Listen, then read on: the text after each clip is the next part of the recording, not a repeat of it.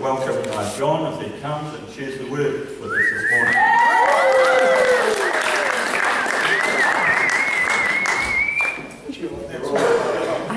Yeah, wait, so. I'm going? Oh, Yeah, wait a few minutes, then I'll leave. Good morning, everybody. Good morning. It's an awesome day, isn't it? Oh, Father, I just thank you, Lord, for this beautiful church to come and fellowship in. I thank you, Lord, for the body of Christ in general. Lord, I thank you for the words you have put on my heart and the ears that you have put on everybody else.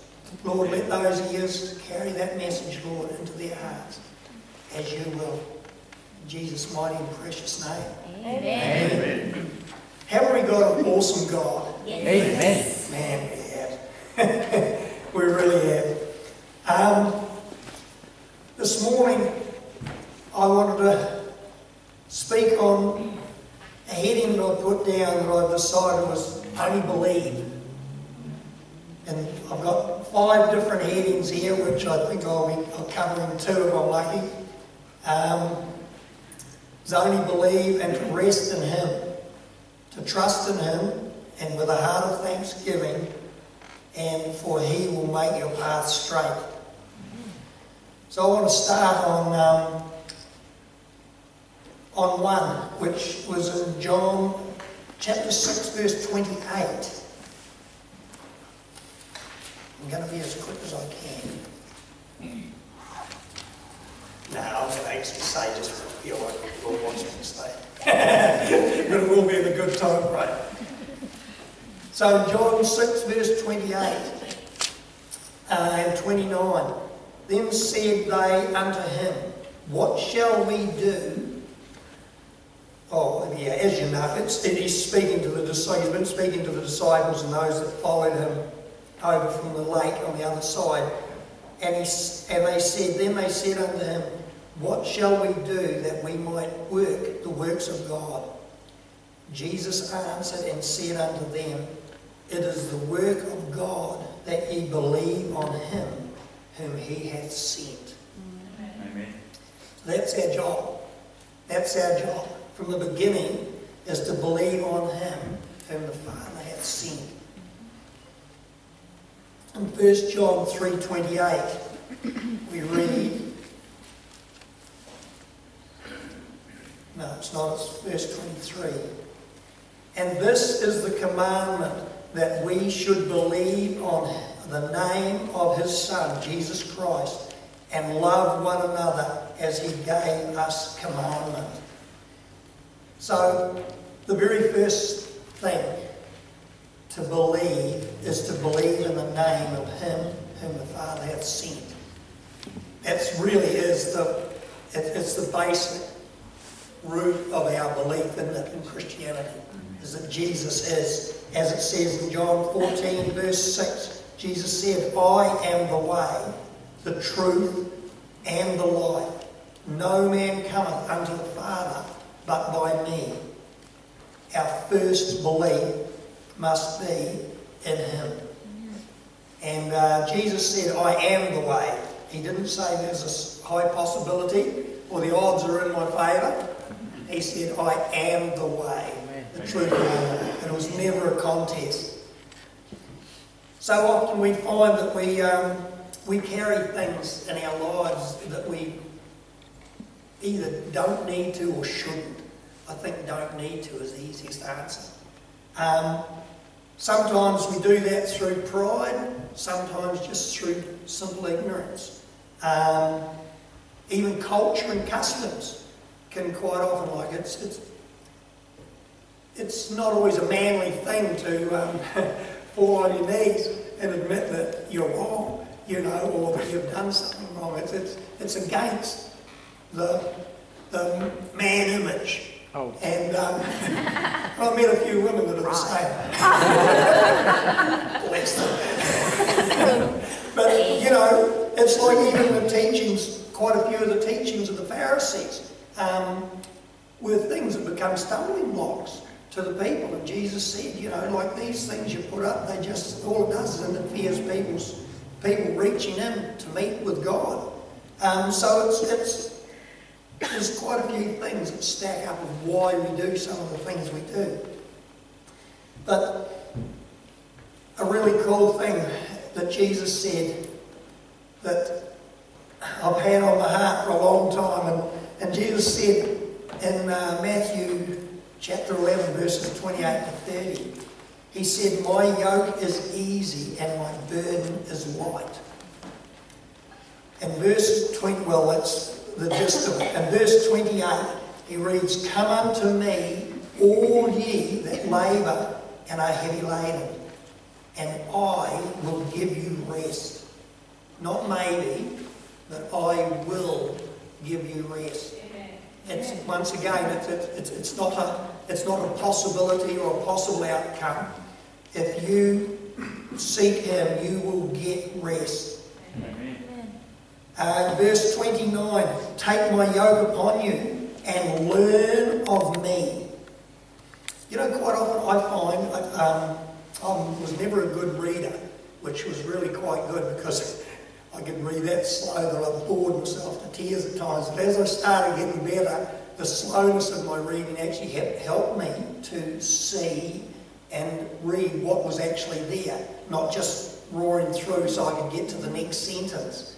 Um, and as we read it through in verse 29, take my yoke upon you and learn of me.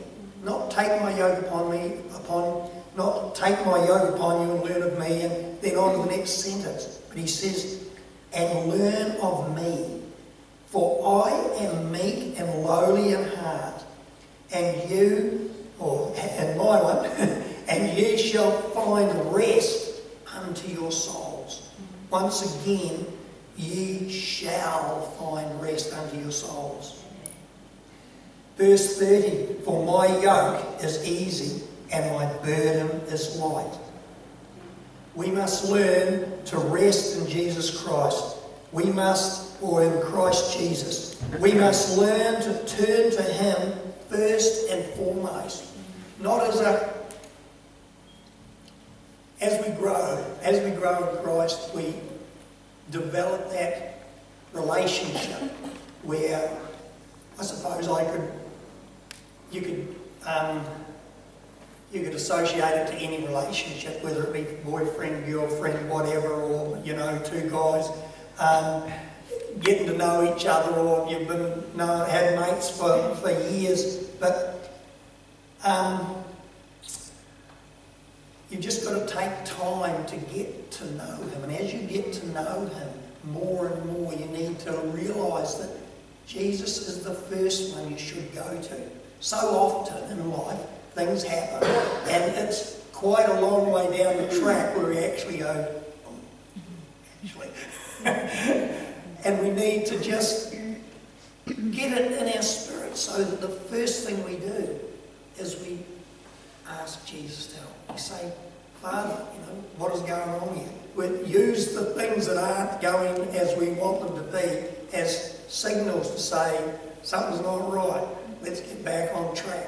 Um, we, our, our life today has got so many um, substitutes and so many props and so many things where we can veer off. Um, you know, Jesus is the same today, yesterday, as he was yesterday, as he will be tomorrow. Yesterday, today, and tomorrow is the same. So we need to try and remember, just in our walks, that he is our first point of contact. Um, Take my yoke upon you and learn of me. Um, I don't know whether there's many here that uh, know at all of um, horses and that when they were when you had a whole heap of horses together. They were used they used to be yoked together. Quite often we, we think of the word being yoked as, as a negative thing. You know, you see these prisoners walking around, arms like that, walking around, and they're yoked up and tied up, and and um, and even like you know being yoked with unbelievers. But with a yoke of horses, you've got two, four, six horses all like, all together, and they through the Circe, uh, the um, swingle trees in the front and everything. The chains ran back, and the second lot were hooked up. And as they were walking along, or as they were working, if one decided he got a bit of wire and he decided he'd just dropped back, the chain would pull him right up. Whoop, yep, the chain would pull right up between him, and he, he, it wasn't a nice feeling. The horse would get back in the line and start. And sometimes, with me as an example, pretty often, I feel the Lord has to give me a bit of a jerk every now and then because I've actually sort of just been, you know, tripping along smelling the daisies. Um, and but if we're in with Him, if we are yoked with Him, then you know, and with the Lord, it's a gentle nudge. It's, it's, it's not the whip. It's a, the Lord never uses a whip. He doesn't use a piece of two. Uh, God encourages us gently. Talks about like us being like um, chicks underneath the hen's wings. You know, that's that's a thing of love and protection. You know, He's not there to, to boot us into gear. He's there to nurture us. And in that, with the yoke of horses, um, it is taken, the, the weight's taken evenly and it's taken light. And as in Christ, your yoke is easy. Um, and how do I know that? Because he says that my yoke is easy. That's why it is written. A little summary of that with a belief and unbelief is the having and not having. Um, we've had was touched on to this morning. Um, there's so many different examples in Jesus' ministry with, um, with the woman that uh, touched the hem of Jesus' garment. She believed that if only I can get close enough to touch his garment, I will be healed. She believed that if only she could. The one um, with the father who brought the son and asked Jesus that he would heal him and he was he was called lunatic, and he would even at times be thrown into the fire and get burnt and all sorts of things. And and Jesus said to him, um, I actually I need to find the scripture, I forgot to find it, but it talked about um, Jesus said to him basically, he said, you know, do you do you think I can do it, or what do you want of me? And the father said, I believe. But then he turned around and he said, But Lord, help me, or Master, help me in my unbelief. Isn't it cool that even, we can even ask God when times are really hard and we, there are times when our faith is weak. But do you know, in that time, we can actually even ask God to help us in our unbelief. Amen. You know, we don't have to, there's, there's no We've seen the Olympics, you know, and you've got to get the highest height to get the gold, the second highest to get the silver, and the third highest to get the bronze, and the rest of them are the also rans. Each and every one of us, through Christ, is called to rule and reign with Christ. Each one of us. Nobody's counted out because they aren't any good at high jump. Well, they can't get over that line first. Um, and I'm not diminishing the fact that um, first is first and it's really good to compete and everything like that. That's cool. What I'm talking about in Christ is that we are all winners. Amen. All winners. Um, we, there's, in fact, it is up to us. The same with the same with the Olympics. It is up to us. We have to put our faith forward. We have to get out there. And I suppose you could get all the, um, theological and everything like that. You probably call some as the so also rans. But it's not by our ability, it's by our it's not by our physical ability, it's by our ability to expose our will and our spirit to God. All we've got to do is believe. Um, let the weak say, I am strong. You know, the, we just need to learn that the key is to rest on Him. The key is to make contact with Him and let Him do it for us. We are not mighty men and women of God. Jesus is awesome. He has won the battle. He has done it all for us. And so we are mighty men and women of God. It's, we, we just got to stand on the finished work, the finished work of Calvary. it was interesting what Pastor Isha said this morning about the uh, about looking up, you know, about out here, you know, and I was thinking, just as she said, I was thinking, you know, that was Jesus on the cross, but that was Christ risen. And that is so cool. It just, it just all of a sudden come across my mind. I thought, you know, that's we, we see Christ risen. The job is done once and for all. No need to be rehashed. It's already been done. Um, casting down. We've got here, um, where do I get to? Hebrews 11 6. But without faith it is impossible to please God. For he that cometh to God must believe that he is, and that he is the rewarder of them that diligently seek him.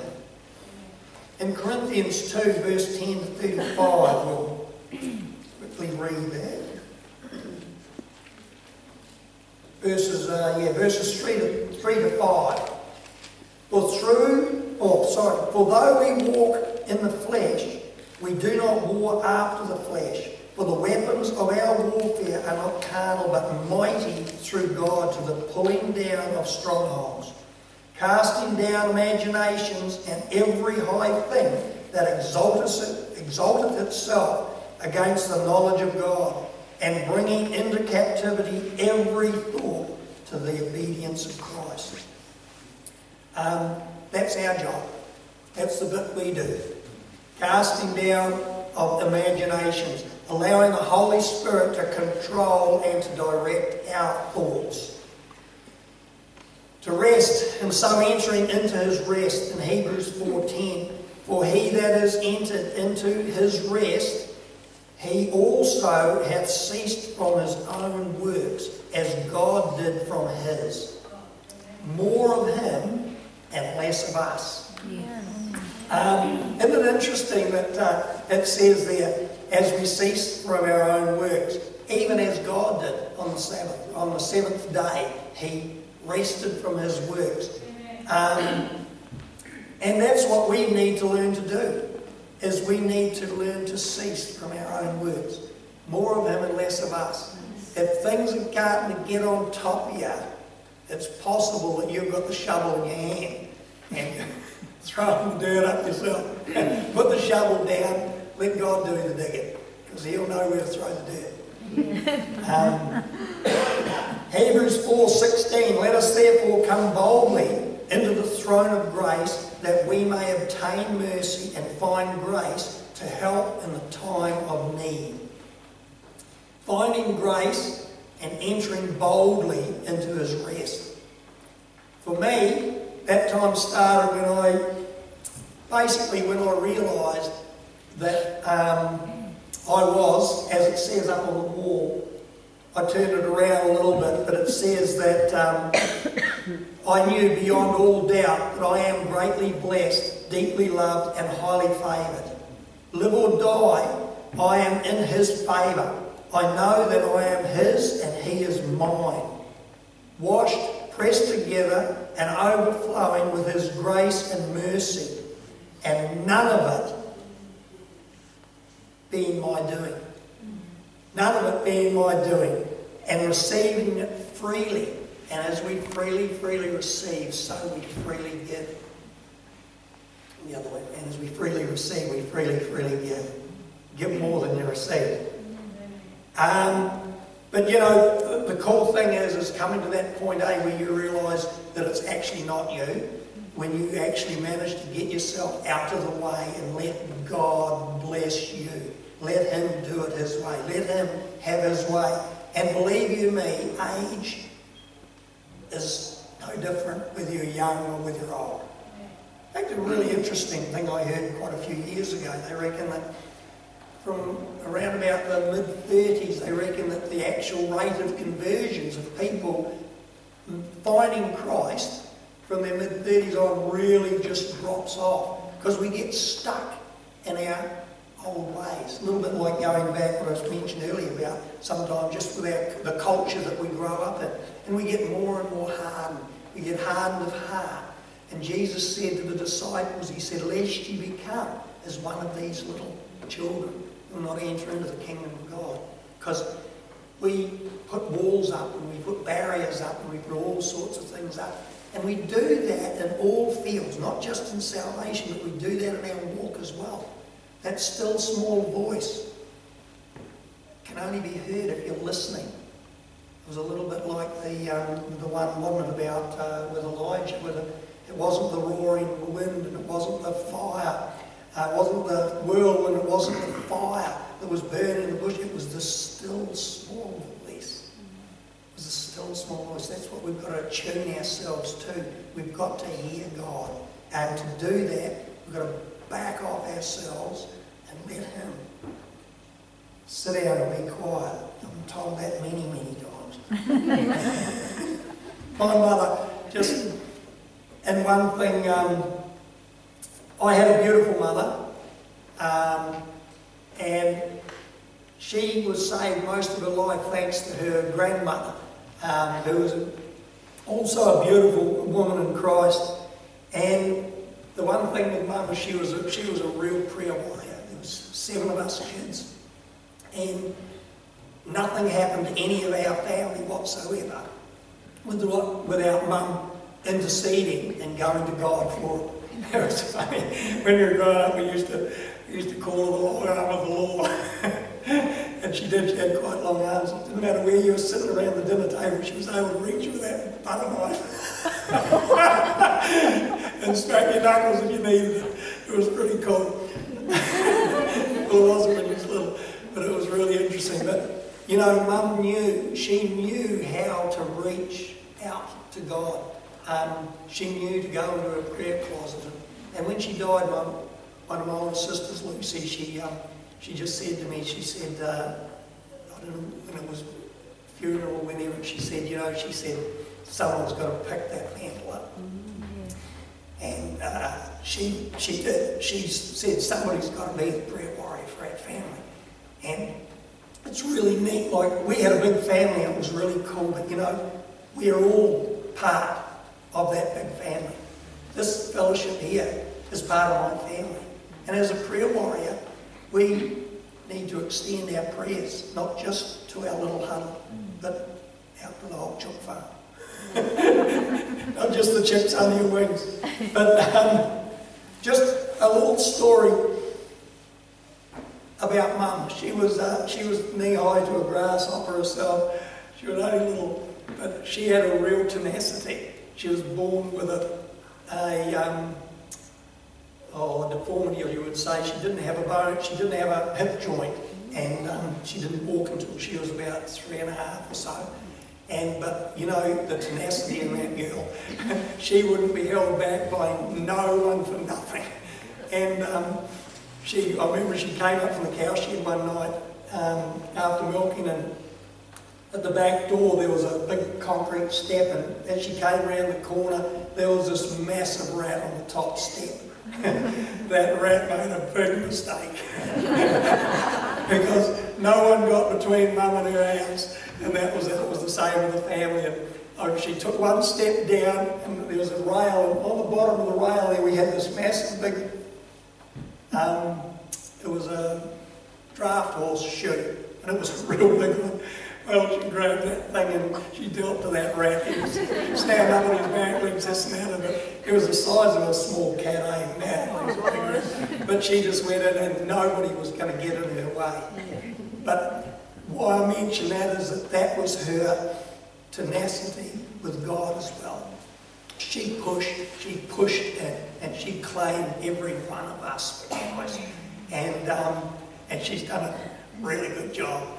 And, uh, you know, so I just want to explain that a little bit for all of us to have that boldness, to have that boldness to push in. Don't let anything stop you from pushing in for what God has got for us.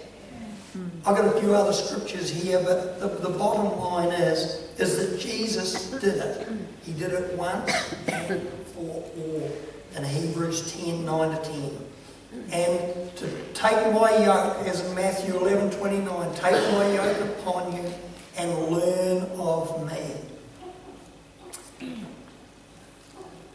So basically, I think, you know, we, um, we just need to take in here, I've just written at the bottom here, enter into his rest boldly. It is yours to take with open arms. Don't hold back. It is what he wants for you. Behold, what manner of love the Father hath bestowed upon us, that we should be called the sons of God. How cool was that with what we heard this morning? you know, we have been called sons and daughters of God. So, and that's, we just haven't been called it, that's what we are. He's called us that because we are. Amen. So really, I just, um, on that note, I just really want to emphasise that last two bits there, is just that we only believe. You know, it, it is not a hard thing that we have been asked to do. We've just been asked to believe. Let the rest just grow. There's this other people around who've got different ideas and different versions and what paces you should travel at. But you know, God knows each and every one of us individually. Before the foundations of the earth were laid, I knew you. He's known us for quite a while. Um, we're not new on his radar. All he wants us to do is be close, right next to him. He wants us to be with him. And uh, that we be risen with Christ. So only believe and enter into his rest. Um, now I know there's, there's, there's always a lot of things that, that stop all of us from doing what we want to. And sometimes there's things that just stop us from uh, doing what we should do. You know, God is here this morning. I, it was a privilege of being able to be up with the singers this morning. You know, to bring praise and worship to God. The feeling up there is just, it is, the presence of God is just so awesome. We, we are so blessed. And, um, and I just really like to, uh, I just really like to ask anyone this morning, if you have got anything at all that you feel is holding you back from pushing in, just believe. There is nothing that is impossible for God. There, there is just, there, there's nothing that God cannot do. Um, if you knew me about 40 years ago, you would think I was pretty written off. Um, and I probably thought I was as well, but you know, um, God never gives up on anybody for anything. There is nothing that we can do that can prevent us from coming into His love. And if there's anyone here today who has anything that has been holding them back, we heard the word that Pastor Dan brought this morning, the word that God brought for you this morning. It's all there for you. You've just got to come up and claim it. You've got to take it. It's like having a check for a million dollars. We've all been given one. But you know, until we cash it in, it's worth nothing. No one will even give you money for the piece of paper it's written on. But when you cash it in, nothing is impossible. Absolutely nothing. I don't want to see anybody go out of here today who has got dreams on their hearts, who have had visions put on their heart, and they haven't moved with it. They've felt, no, no, because you know the longer you put it off, the more it is, no, no, no, it's too late now because it was too late before. It's too late now. It is never too late. It is never too late. God has got work for us for eternity. This little minion of time here is just nothing. So if there's anyone here that wants prayer, I'm more than happy. We have a team here who can pray. I'm more than happy to pray for you. If there's something that you have not done, you just boldly go in and claim it. It's yours to have. Floor's open. If someone would like to come forward, come forward. Otherwise, we do have nice cup of tea something eat out the bag. But if there's anyone here this morning, just like you to close your eyes for a minute. Father, we just thank you, Lord. We thank you, Father God, for the truth of your word. We thank you, Lord, for your love. We thank you, Lord, that we truly are blessed. We truly are favored. And we really deeply are loved of you. Father, I uh, If there is anyone here that feels that they are not worthy of your love, or not worthy of what you've put on their hearts, let them know this day that that is not true. Anything that you give us is ours to have. We are joint heirs in Christ. Thank you, Lord. Thank you for your word, Father. Let it not return unto you, Jesus' precious name.